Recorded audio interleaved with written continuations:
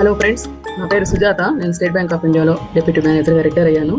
మీకు సేమ్ బ్యాంక్లో కానీ డిఫరెంట్ బ్యాంక్లో కానీ మోర్ దాన్ వన్ అకౌంట్స్ అంటే మీకు రెండు మూడు అకౌంట్ ఉన్నాయనుకోండి ఆ విధంగా రెండు మూడు అకౌంట్ ఉన్నందువలన ఎంత నష్టం వస్తుందో మీరు ఈ వీడియో ద్వారా తెలుసుకుంటారు. మీకు సేమ్ బ్యాంక్లో కానీ వేరే బ్యాంక్స్లో కానీ అకౌంట్స్ ఉన్నట్లయితే వాటిలో ట్రాన్సాక్షన్స్ జరుపుతున్నట్లయితే పర్వాలేదు. కానీ ఆపరేషన్స్ లేనప్పుడు ఆ అకౌంట్స్లో మీరు తీసుకున్న ఫెసిలిటీస్కి ఫెసిలిటీస్ అంటే ఏంటి?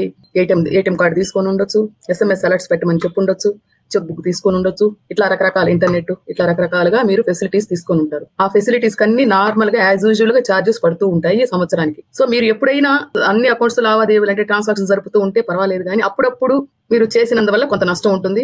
అదే విధంగా మీరు కొన్ని అకౌంట్స్ మర్చిపోయినందువల్ల కూడా చాలా నష్టం ఉంటుంది. మీకు ఎప్పుడో పలానా బ్యాంకులో అకౌంట్ ఉండాలి కదా అని అడిగి అక్కడికి వెళ్ళి అడిగితే వాడు ఎంక్వైరీ చేసి ఇది నా లో ఉంది దీనికి కొన్ని చార్జెస్ పడి ఉన్నాయి ఇది క్లోజ్ చేయాలంటే ఇంత అమౌంట్ కట్టాలి అని వాళ్ళు చెప్తారు. సో మీరు అకౌంట్ క్లోజ్ చేయాలంటే దాంట్లో ఉండే మొత్తం బ్యాలెన్స్ కట్టితే కానీ అది క్లోజ్ అవ్వదు. మీరు ట్రాన్సాక్షన్ చేయడం ఆపేసినప్పుడు సపోజ్ ఒక రెండు వందలు మూడు వందలు ఉంది అనుకుందాం. ఇప్పుడు అది క్లోజ్ చేయడానికి వెళ్ళినప్పుడు దాంట్లో ఆ చార్జెస్ ఈ చార్జెస్ పడి మీకు కొంత అమౌంట్ చూపిస్తుంది. కాబట్టి మీరు అకౌంట్స్ అవసరం లేనప్పుడు ఒకే అకౌంట్ మెయింటైన్ చేసుకుంటుంటే చాలా మంచిది.